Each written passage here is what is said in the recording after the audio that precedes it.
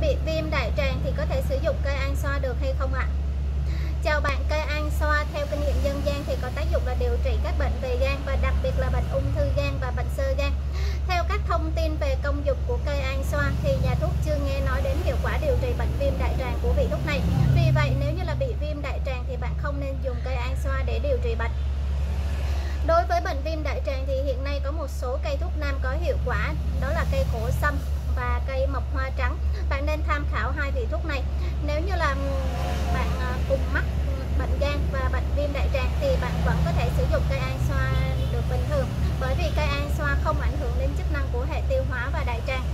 Tuy nhiên thì khi sử dụng cây an xoa thì cũng cần lưu ý là do cây an xoa có nhiều lông và đặc biệt là ở phần quả của cây an xoa Trước khi nấu thì bạn nên loại bỏ quả của cây an xoa đi và sao vàng hạ thổ cây thuốc trước khi dùng.